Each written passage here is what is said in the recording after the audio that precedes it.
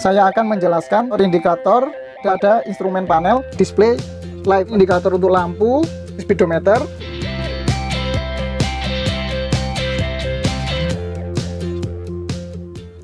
Assalamualaikum Selamat datang di channel YouTube Bigi Ferry Di video kali ini saya akan menjelaskan indikator-indikator dan gig yang ada pada instrumen panel dump truck Volvo FMX versi 4 jadi tujuannya agar kita bisa tahu info-info atau simbol-simbol yang ada pada instrumen panel. Jadi video ini sangat bermanfaat untuk seorang driver dan seorang mekanik.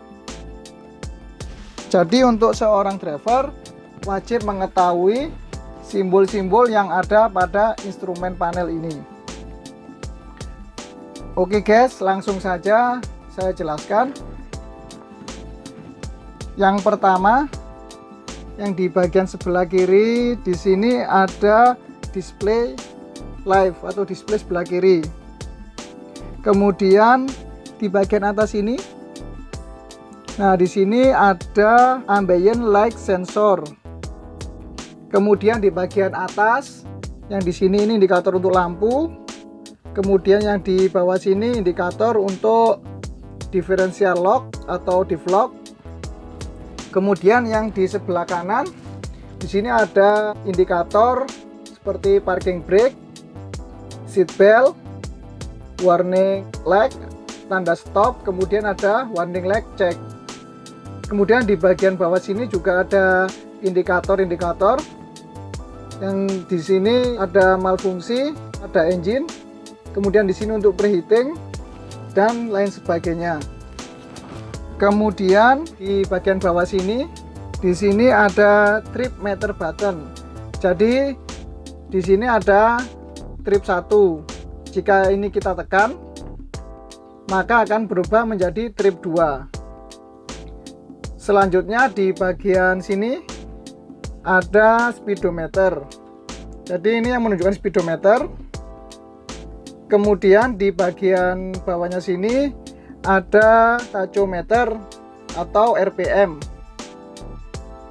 kemudian di bagian tengah di sini ada display center. Jadi jika kita mengaktifkan exhaust brake atau cruise control maka akan timbul atau muncul informasi di center display ini seperti ini adalah posisi dari speedernya. Jika speeder saya pindah ke heck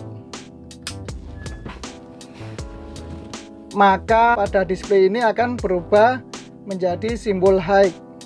Dan untuk tiga ini adalah simbol untuk exhaust brake. Jadi exhaust brake nya berada pada posisi tiga Kemudian di bagian kanan di sini ada driver information display atau biasa disebut DID. Jika kita ingin melihat HM atau melihat error code, maka kita bisa lihat di sebelah sini. Oke guys, lanjut pada indikator-indikator yang ada pada instrumen panel ini. Yang pertama di sini ada indikator position light. Kemudian di sebelahnya sini ini adalah indikator fog lamp bagian depan. Kemudian di sebelahnya ini indikator untuk fog lamp bagian belakang. Kemudian yang ini indikator untuk headlight atau headlamp yaitu lampu bagian depan kemudian yang ini adalah direction indicator sebelah kiri. Selanjutnya yang ini adalah direction indicator sebelah kanan. Atau bisa disebut rating kanan dan yang ini adalah rating kiri. Kemudian di sini ada indikator parking brake. Jadi jika parking brake diaktifkan maka indikator ini akan menyala. Jika parking brake dirilis, maka indikator ini akan mati. Selanjutnya, yang ini adalah indikator untuk seat belt. Jadi jika seat belt tidak digunakan, maka indikator ini akan menyala. Dan jika seat belt digunakan, maka indikator ini akan mati. Kemudian di sini ada informasi jika muncul tanda stop, maka kendaraan atau dump truck ini harus dihentikan karena bisa menyebabkan atau mengalami kerusakan yang sangat berbahaya. Kemudian jika simbol cek muncul, maka pada dump truck ini perlu dilakukan pemeriksaan di workshop. Selanjutnya di bagian bawah di sini ada simbol atau indikator untuk engine preheating. Kemudian yang ini adalah indikator malfunction lamp. Jadi jika ada masalah pada engine maka indikator ini akan muncul atau indikator ini akan menyala. Kemudian di sebelah kiri ini adalah indikator untuk bogie lift trailer. Selanjutnya di sampingnya ini ini adalah indikator untuk bogie lift. Kemudian yang ini adalah indikator untuk differential lock atau lock atau biasa disebut inter axle.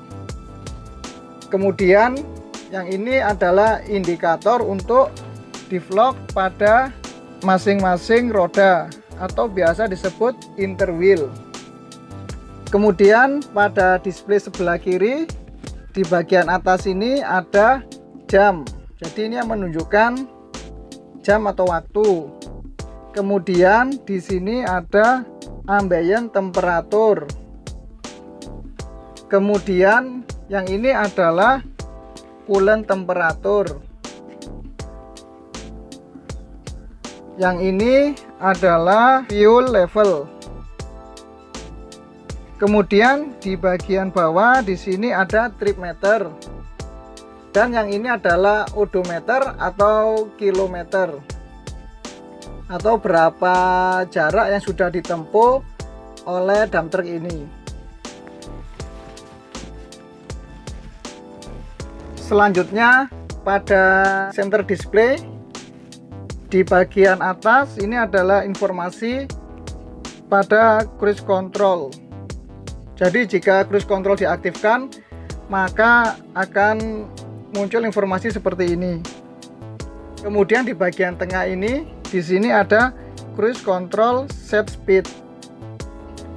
Selanjutnya di sampingnya ini di sini ada Target Vehicle Detected atau biasa disingkat ACC. Kemudian di bagian bawah di sini ada Gear Selector Position yaitu pada transmisi iShift atau transmisi Matic. Kemudian yang di sini ada Active Gear.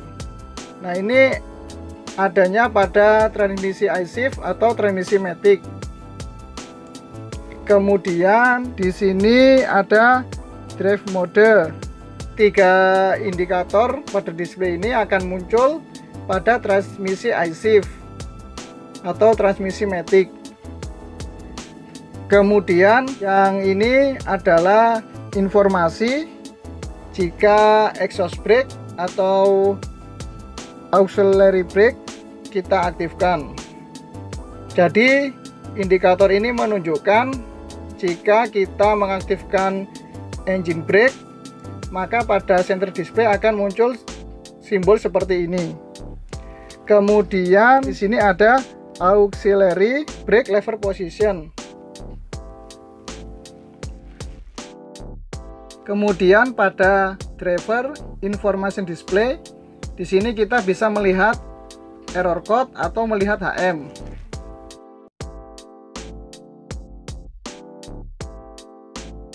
Nah, jika ada error, maka di sini akan muncul. kemudian untuk melihat hour meter atau engine hour kita masuk pada menu maintenance kemudian kita masuk pada vehicle data. Nah di sini adalah jarak yang sudah ditempuh dump truck ini. Kemudian di sini ada fuel consumption. Nah ini adalah engine hour